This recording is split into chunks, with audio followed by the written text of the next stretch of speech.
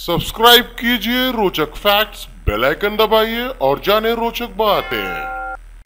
Hello दोस्तों, आज हम रोचक फैक्ट्स के माध्यम से जानेंगे शीतला सप्तमी व्रत कथा क्या है।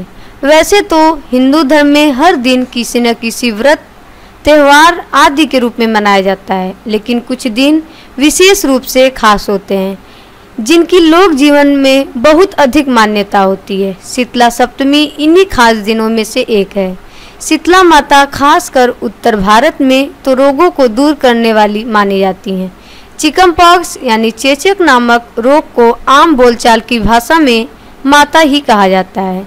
शीतला माता की कृपा पूरे परिवार में बनी रहे, इसलिए सीता सप्तमी अष्टमी का उपवास भी रखा जाता है।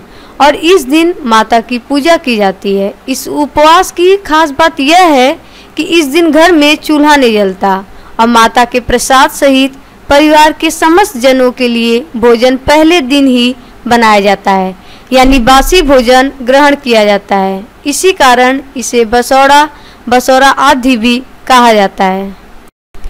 क्या है शीतला सप्तमी व्रत व पूजा की विधि? इस दिन श्वेत पाषाण रूपी माता शीतला की पूजा की जाती है। उत्तर भारत में तो विशेष रूप से माँ भगवती शीतला की पूजा की जाती है। इस दिन व्रती को प्रातः काल उठकर शीतल जल से स्नान कर स्वच्छ होना चाहिए। तत्पश्चात व्रत का संकल्प लेकर विधि विधान से माँ शीतला की पूजा करनी चाहिए। वो पहले दिन बने हुए, यानी बासी भोजन का भोग लगाना चाहिए। साथ ही शीतला सप्तमी, अष्टमी व्रत की कथा भी सुननी जाती है।